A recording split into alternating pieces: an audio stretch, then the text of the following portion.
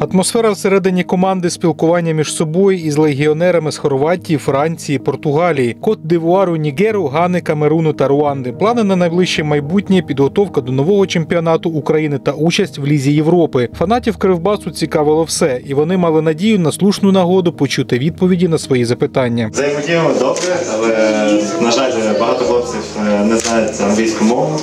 То так перекладаємо. Е, В побуті важко з ними, тому що у роздяганні вони сидять всі поруч е, та дуже шумно спілкуються. Та музика дуже громко грає.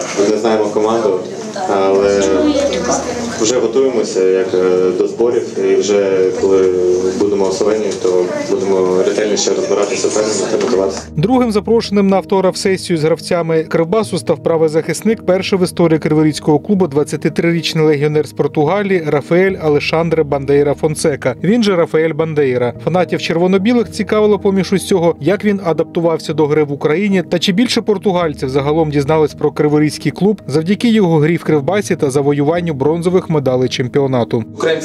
Я приїхав грати до України, тому що я багато чого гарного читав та бачив про ФК Кривбас, який на момент мого підписання займав досить високі позиції в турнірній таблиці української прем'єр-ліги. Кривбас дуже гарна команда, колектив. І я обрав Кривбас, адже особисто для мене це новий виклик, нова сходинка у професійній кар'єрі як гравця. Тому я дуже задоволений, що я тут і що я граю саме за Кривбас. Попереду в гравців у найближчій перспективі тренувальні збори в Словенії, де гравці готуватимуться до старту нового сезону української прем'єр-ліги 2024-2025, а також до участі в Єврокубках з третього кваліфікаційного раунду Ліги Європи. 22 липня під час жеребкування криворіжці дізнаються свого суперника. Матчі відбудуться 8 та 15 серпня. Олександр Фефілатів, Іван Сергіїв, перший міський.